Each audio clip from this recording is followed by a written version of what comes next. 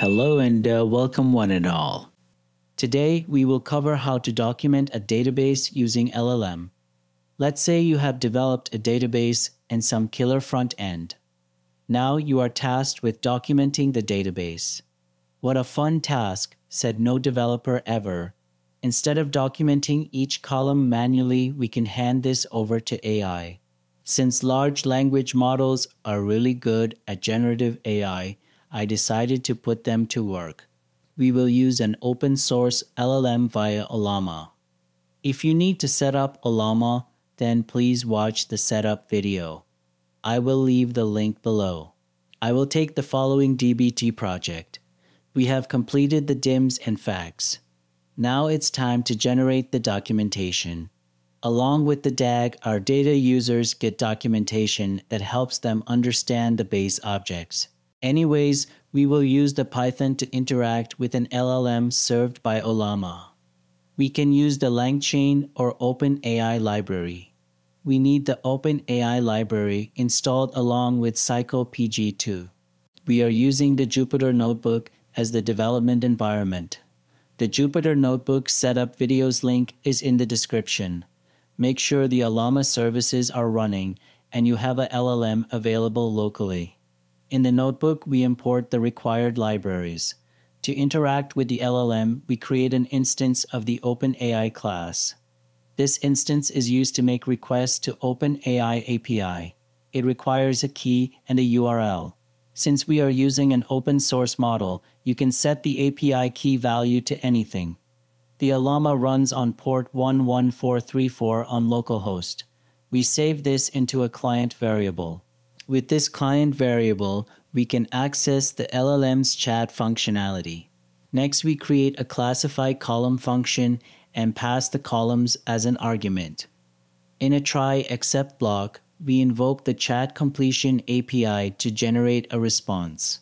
This block is the main part of the code. It sends a chat request to the model Llama 3 asking it to generate a response based on the conversation provided in messages. This is where things get interesting. This code defines a conversation between the AI and a user.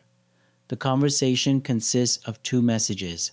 Message 1 The first message has a role of system and content that provides context to the AI about what kind of text it should generate.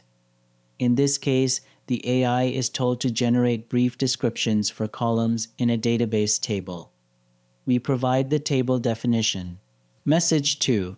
The second message has a role of user and content that provides the column name represented by the variable column that the AI should describe.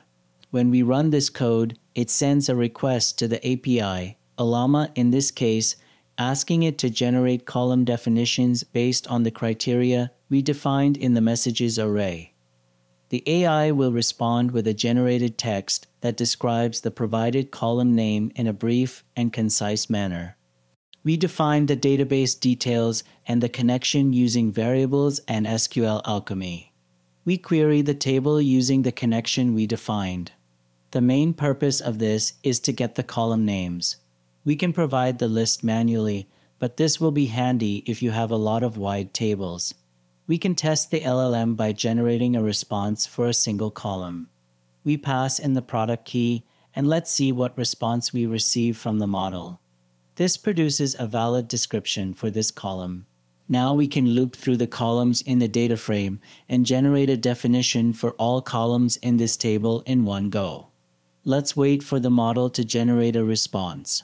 We have the whole table documented in seconds we can clean up the response to our liking and embed this definition in our DBT project.